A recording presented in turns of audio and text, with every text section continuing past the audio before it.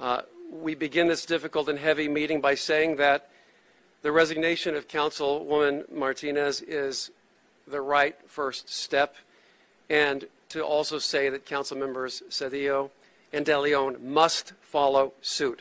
We stand with the people of Los Angeles. As I have said earlier, the wound is deep, the, the harm is vast. Um, the transgressions are of a profound significance. In order for us to move forward with the people of Los Angeles, we need two more resignations. Nury Martinez's resignation uh, is what we hope is the beginning of the end. The end of a nightmare that she, along with Kevin De Leon and Gil Cedillo, created for our city. They're racist, derogatory, and insensitive comments uh, deep cut into the soul of the city of Los Angeles. It's unforgivable, and the damage they have done is reprehensible.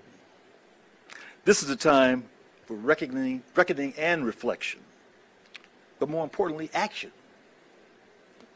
Forgiveness requires more than a, an apology of empty words. The people of LA have spoken.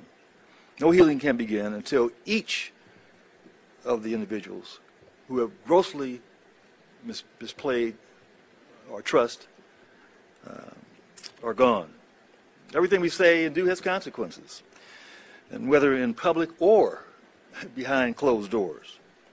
Accountability and integrity are the very foundation of leadership, and our, our city deserves nothing, nothing less. In order for us to govern and handle the people's business, I'll repeat, we need Kevin and Gil to listen to their conscience own their mistakes, and do what's morally right.